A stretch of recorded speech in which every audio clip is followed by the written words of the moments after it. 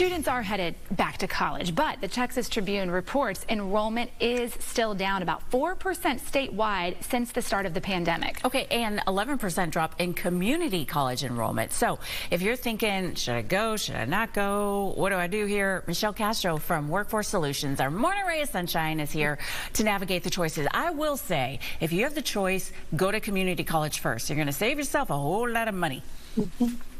You are 100% right, Lena. I mean, just seriously, it's such a great value. Uh, thank you guys for having me back. I always love sharing some good information. And, you know, right now, it's not surprising that we have a drop in college enrollments, and that's because uh, there's so much competition and employers are raising those entry level wages. But at Workforce Solutions, we want to remind you that in the long run, education always pays uh, in the long run, you are going to have a much uh, better career and in terms of wages and your overall earnings. And when you think about it, if you have a young person who hasn't committed to college yet, or maybe you're thinking about going back to school, uh, community colleges are always a great place to get started because they are such a great value.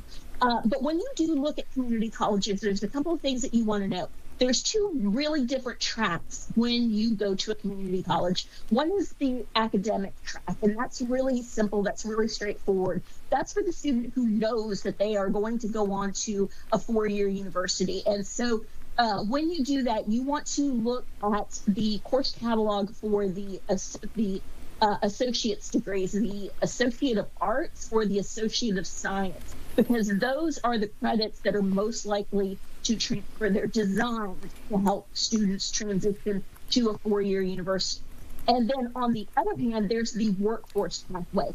And these are the courses that are meant to help you get the skills to get a good job and to uh, enter directly into the workforce. And those credentials range anywhere from an occupational skills award all the way up to an applied associate's of science. And so um, while those workforce credits typically don't transfer over to a four year degree, they do tell employers that you are ready to go to work, that you have the skills needed to perform those job functions. And so, uh, again, the the beauty of these workforce credentials is that many of them are stackable.